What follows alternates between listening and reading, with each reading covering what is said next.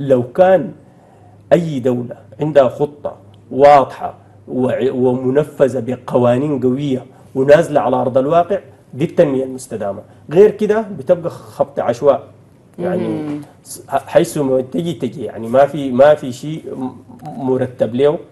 وحتى لو يتغير الحاكم المفروض ما تتغير الخطة.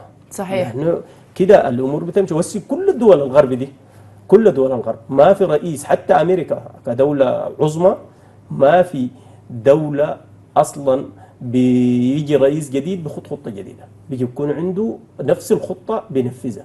لكن هو بيتغير الحاكم لكن ما بتتغير خطة الدولة كدولة كاملة يعني.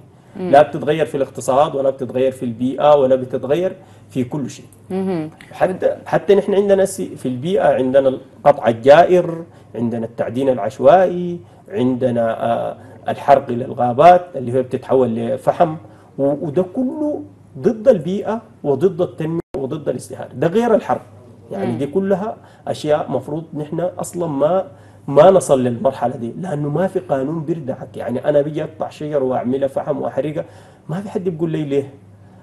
بل الحاجة الأخطر من كده عندنا في في السودان أن الأراضي ذاتها الأراضي اللي أنت بتنميها وبتبني عليها المصانع وبتعمل فيها الزراعة الأراضي ملك الأشخاص ما ملك حر بيسموه ملك يعني وضع يد.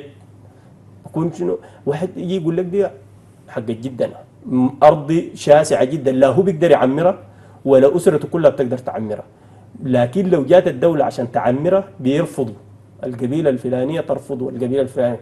فهنا ما في تصالح اجتماعي ما في رؤية للدولة ما في ملكية للأراضي ما في يعني خطط مستقبلية. لل- للازدهار وللتنمية. من دون في ابتكار. وقوف للحرب أصلا. نحن بنحارب من 52 لليله صحيح. أي. فكده نحن بنكون بعيدين تماما عن خطط التنمية المستدامة. نعم. وبالرغم نحن موقعين فيها. يعني الامم المتحده موقعين على الخطة دي لكن ما عملنا فيها شيء.